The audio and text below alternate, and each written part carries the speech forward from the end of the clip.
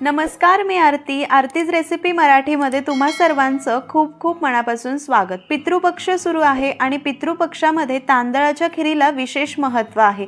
आज आपण अगदी झटपट दहा मिनटात तयार होणारी चवदार तांदळाची खीर बनवतोय. तुम्हाला अगदी खूप लोकांसाठी जरी खीर बनवायची असेल तर एक छान पद्धत दाखवते. याने तुमची खीर अगदी परफेक्ट चविष्ट आणि दाटसरच होईल. तर आपण एक लिटर दुधाची खीर बनवतोय. त्यासाठी आपण पोहे खाण्याच्या चमच्याने चार चमचे तांदूळ घेतला आहे. तांदूळ कोणताही घेऊ शकतात. आता तांदळाला कीटकनाशक पावडर वगैरे लावलेली असते. म्हणून तांदूळ एक दोन वेळा स्वच्छ धुवून घ्यायचा आणि अर्धा पाऊन तास फॅन खाली वाळवायचा आणि मगच आपल्याला वापरायचा आहे तर हा चार चमचे तांदूळ आहे. कढईमध्ये पाव चमचा तूप घेतलेला आहे. त्यामध्ये हा तांदूळ घालायचा. गॅस मध्यम ठेवायचा आणि सतत मिक्स करत तांदूळ चांगला गुलाबी लालसर होईपर्यंत आपल्याला परतून घ्यायचा आहे. तांदूळ असा छान गुलाबी लालसर होईपर्यंत परतून मग खीर बनवली की खीर अगदी खरपूस चवदार लागते. आता एक लिटर दुधासाठी आपण चार चमचे तांदूळ घेतले पण तुम्हाला अर्धा लिटर दुधाची खीर करायची असेल तर तुम्ही दोनच चमचे तांदूळ घ्यायचे आहे. बघू शकतात मध्यम आचेवरती तांदूळ छान गुलाबी होईपर्यंत परतून घेतला याला एका वाटीत काढूया. तांदूळ वाटीत काढल्यानंतर यामध्ये आपल्याला साधं पाणी घालायचं आहे तांदूळ व्यवस्थित बुडले जातील इतकं पाणी घालायचं. आता हे परतून घेतलेले तांदूळ पाण्यामध्ये आपल्याला अर्धा तास भिजवून घ्यायचे तांदूळ व्यवस्थित भिजले की व्यवस्थित दळले जातात म्हणून अर्धा तास आपण यांना पाण्यामध्ये भिजवून घेऊया. इथे बघू शकतात तांदूळ अर्धा तास पाण्यामध्ये छान भिजवून घेतला. पाण्यासकट मिक्सरच्या भांड्यात काढायचे आणि आपल्याला यांना रवाळ असे दळून घ्यायचे. तुम्हाला खिरीमध्ये मोठा मोठा तांदूळ दिसलेला आवडत असेल तर अगदी एक दोन वेळा पल्स मोडवर दळा. किंवा मग छान तांदळाचा रवाळपणा दिसायला हवा तर व्यवस्थित बारीकसर रवाळ दळून घ्या. तर मी पाण्यामध्ये हा भिजवलेला तांदूळ व्यवस्थित दळून घेतला. आता खीर करूया. तर इथे साधारण दीड टेबलस्पून मी तूप घेतला आहे. तूप वितळतं आहे तोपर्यंत सुखा मेवा बघूया. दोन चमचे किसलेलं खोबरं काजू बदाम आणि थोडेसे बेदाणे घेतलेले आहे. हा सर्व सुखा मेवा तुपामध्ये घालायचा. गॅस मध्यम ठेवायचा आणि सतत असं मिक्स करत परतून घ्यायचं आहे छान लालसर होईपर्यंत. इथे तुम्हाला चारोळी आवडत असेल तर तुम्ही चारोळी देखील घालू शकतात. मध्यम आचेवरती सुखा मेवा बघू शकतात. चांगला लालसर होईपर्यंत परतून घेतला. बेदाणेही मस्त फुलले. यामध्ये आपल्याला एक लिटर फुल क्रीम दूध घालायचं आहे तर हे एक लिटर दूध घातल्यानंतर व्यवस्थित मिक्स करून घ्यायचं आणि या दुधाला आपल्याला चांगली अशी एक दणदणून उकळी काढायची आहे.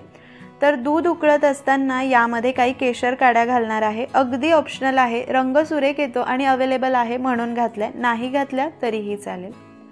बघू शकता दुधाला मस्त अशी दणदणून उकळी आली आहे गॅस मंद करायचा आणि दळून घेतलेली तांदळाची पेस्ट यामध्ये घालायची आहे.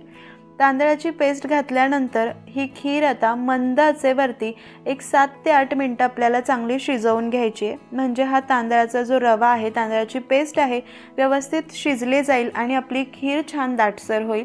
यामध्ये दोन तीन ठेचून घेतलेल्या वेलची घातलेल्या आहे. तुम्हाला वेलची पावडर घालायची असेल तर वेलची पावडर घातली तरीही चालेल. पण अशा ठेचून घातल्या आणि सालासकट घातल्या की चव छान लागते. खीर शिजत असताना हिला मध्ये मध्ये ढवळत राहायचं तळापासून नाहीतर ही खीर लवकर तळ धरण्याची शक्यता असते आणि करपण्याची शक्यता असते. आता सात ते आठ मिनटं मंद आचेवर शिजवून घेते.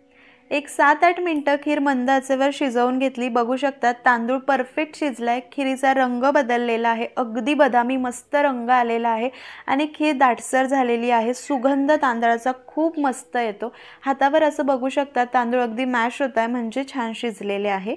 आता यामध्ये आपल्याला चवीनुसार साखर घालायची आहे तर एक चार ते पाच चमचे साखर घातली आहे. तुम्ही तुमच्या चवीनुसार कमी जास्त करू शकतात साखर घातल्यानंतर खीर परत थोडीशी पातळ होते कारण साखर विरघळली जाते पाणी सुटतं. म्हणून अजून एक चार पाच मिनटं मंद आचेवर आपण ही खीर परत शिजवून घेऊया.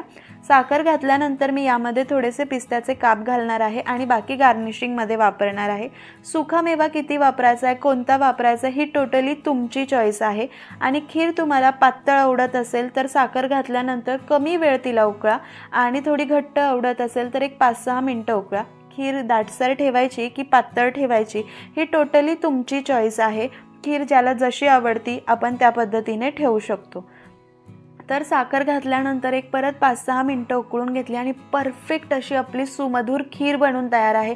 जो तांदूळ भाजून घेतला त्यामुळे सुगंध मस्त येतो रंग अगदी परफेक्ट बदामी आला आहे कारण आपण तांदूळ लालसर असा भाजला होता. आणि मस्त आपली खीर बनून तयार आहे. हार्डली दहा ते बारा मिनटं लागतात आणि परफेक्ट खीर बनून तयार होते.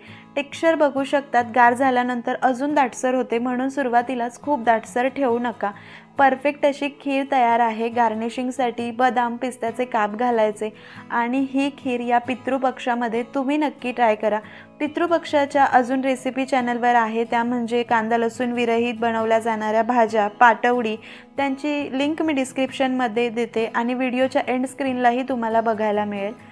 खीर सर्व करून घेऊया. तर बघू शकतात अगदी परफेक्ट झाली आहे. पुरीसोबत खूप छान लागते. नक्की ट्राय करा. कशी वाटली कमेंट करून सांगा. आवडली तर जास्तीत जास्त शेअर करा लाईक करा. अशाच पारंपरिक रेसिपीज बघण्यासाठी चॅनलला नक्की सबस्क्राईब करून घ्या.